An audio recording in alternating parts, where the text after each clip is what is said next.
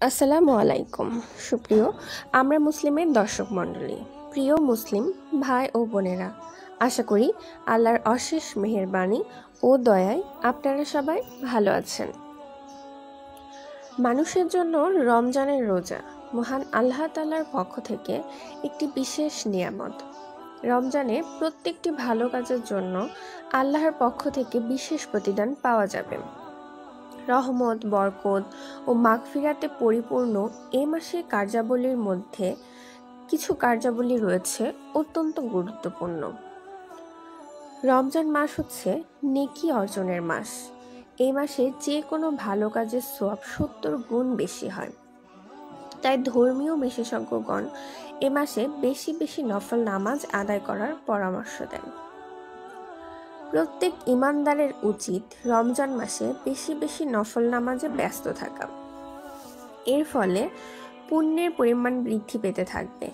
যেহেতু রমজান মাসে শয়তান আবদ্ধ থাকে, তাই শয়তান মানুষকে ধোকা দিতে পারে না।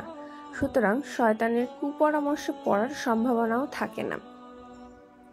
হজরত মোহাম্মদ সাল্লাহ আলাইসাল্লাম বলেছেন রমজানের আগমন ঘটলে জান্নাতের দরজাসমূহ খুলে দেওয়া হয় সুবহান আল্লাহ জাহানামের দরজাসমূহ বন্ধ করে দেওয়া হয় এবং শয়তানকে শৃঙ্খলিত করা হয়, বুখারি শরীফ।